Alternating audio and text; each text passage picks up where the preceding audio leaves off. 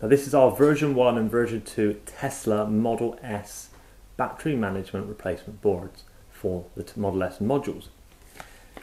Now we do two variants because there's two versions of the Model S battery. Um, there's the original version with the metal sides and the coloured cell tap wires that when you look at the module they come out to a single long white connector which is this single long white connector just here and you have a temperature connector. So you only have two connectors on that module type. We then do the version 2 which are the plastic sided modules with the ribbon cable cell tap connectors which have two two cell tap connectors one here and one here and a temperature connector. So before purchasing, please check which variant your module has.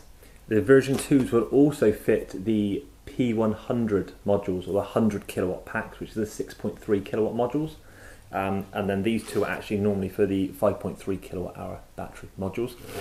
Each pack comes complete with the 12 pin connector and the relevant pins to go with it. And the board is also printed with the pin out for the connector. So you have two temperature sensors, which is T1 and T1, and temperature sensor, which is T2 and T2. You also have a minus 1, which is cell 1 minus, and then you also have cells 1 to 6 in order as well. Makes it nice, quick and easy to wire up to your Orion battery management system or your choice of battery management system.